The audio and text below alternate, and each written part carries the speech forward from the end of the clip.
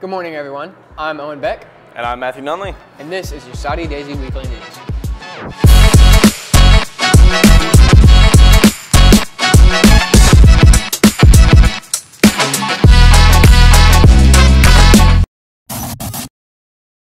Starting off with school announcements this week, there will be a Blue Sky Institute open house this Saturday, December 2nd.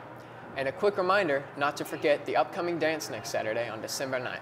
And that's all for your school announcements. Now on to your local news. Your local news for today.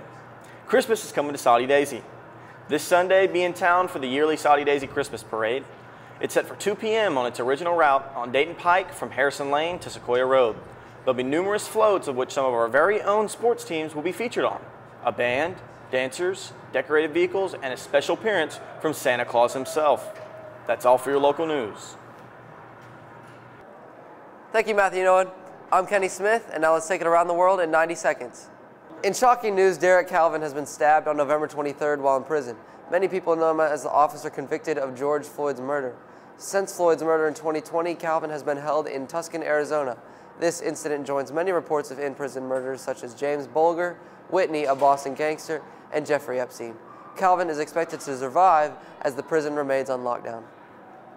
In Kenya, two elephant twins were born. Nicknamed the Double Joy, the two were given to a national reserve to be kept safe. But due to a massive drought, one of the twins sadly passed away. The two were born against amazing odds, and this is the second occurrence of twins in Kenya in the last two years. That's all for your 90 seconds. I'm Kenny Smith, and now on to your weather. I'm Aiden, and this is your weather for the week. Thursday, there will be highs staying in the 50s and lows staying in the 30s. Friday and over the weekend, expect light rain with highs in the 50s and lows in the 40s and 50s. That's all for your weather. Now back to Matthew and Owen at the desk. For your sports this week, our basketball teams play Friday at Signal Mountain. Girls play at 6 and boys play at 7:30. Also on Friday, we have a wrestling tournament at Maryville.